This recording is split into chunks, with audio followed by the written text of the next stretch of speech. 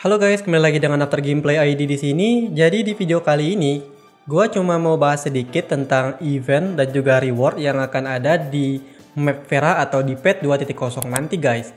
Jadi apa aja eventnya dan berapa aja reward yang akan diberikan kepada kalian untuk event-event tersebut. Jadi sesuai dengan live streaming yang hadir kemarin ya. Kalau untuk yang Jepang itu kan kalau nggak salah tadi malam guys untuk live streamingnya kan. Nah, sedangkan untuk yang versi globalnya, live streamingnya itu baru ada 3 jam yang lalu guys, atau subuh-subuh tadi lah ya. Jadi apa aja konten-konten yang dihadirkan untuk di live streaming tadi malam, maksud gua tadi pagi ya. Jadi yang pertama itu secara singkat aja gua bahasnya ya guys. Gua di sini nggak terlalu bahas secara signifikan banget. Jadi di sini kita bahas singkat-singkat aja. Yang pertama itu ada story baru pastinya ya. Jadi nanti di map Vera itu kita bakalan bisa melanjutkan story yang ada guys. Sekarang kan kita kondisinya kan di sini seperti yang kalian lihat itu chapter baru akan segera hadir katanya kan. Nah, jadi untuk map Vera nanti kita bakalan kedatangan story baru guys. Nah, seperti itu. Kemudian ada yang kedua adalah new map atau display. Jadi seperti yang kalian tahu di map Vera nanti kan ada dua map guys. Yang pertama itu map yang ada di Miroria City, kemudian map yang ada di desert kan. Nah jadi di situ nanti kalian bisa explore lagi map-map tersebut dan mendapatkan item-item penting gitu guys. Kemudian ada karakter baru seperti yang udah disebutkan di sini ya. Jadi karakter barunya dari Vera itu adalah Ruby guys. Nah seperti ini Kemudian setelah banner Ruby ini di live streaming tersebut agak sedikit diberikan bocoran gitu guys, entah bocoran tak apa ya. Setelah mereka menampilkan bannernya Ruby, mereka itu menampilkan bannernya Sakifua guys. Nah di sini gue ada sedikit teori kalau misalnya banner yang akan hadir di 2.1 itu kemungkinan besar itu Sakifua terlebih dahulu baru itu Lin ya.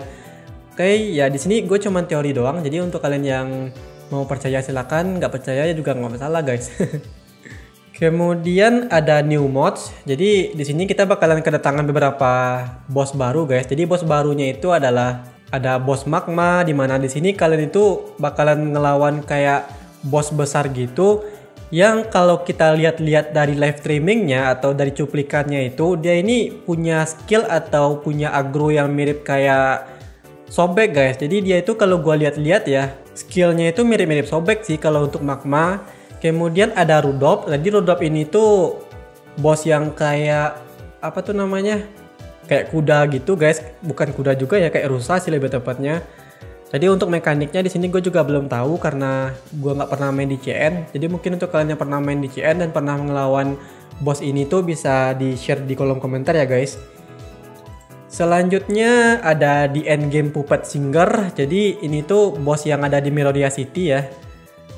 Miripnya itu ya kayak kayak perempuan gitu guys. Entahlah ya. Kemudian ada Sadness Valley, Abisan Weaver. Ini tuh ya bos yang ada di desert ya. Oke, sekarang kita bahas soal rewardnya. Jadi di sini sesuai live streamingnya, total kita bakalan mendapatkan lebih dari 70 kali pull guys. Kemudian kita juga bisa mendapatkan SSR weapon dan juga SSR relic dan juga kostum guys. Nah, seperti itu.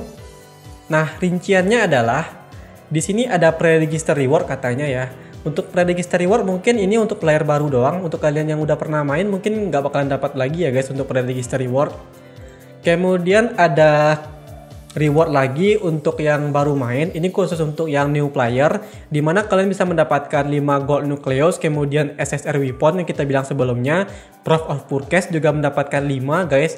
Dan di sini kalian juga bisa mendapatkan gold nucleus lagi 10, red nucleus 10 dan juga vehicle guys. Nah, seperti itu.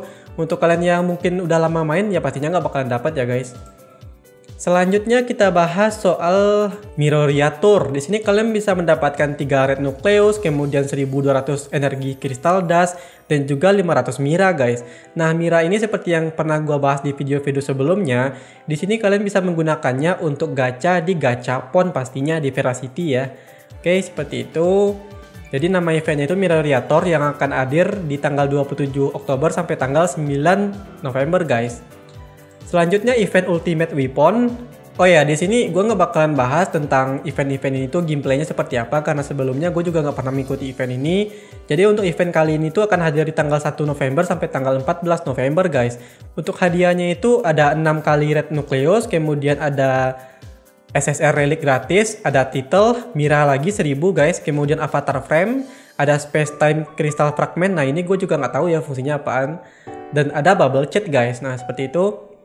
Kemudian ada event Chill Like Innocence. Jadi di sini kalian harus collect bubbles gitu katanya ya untuk kosmetik dan vice part.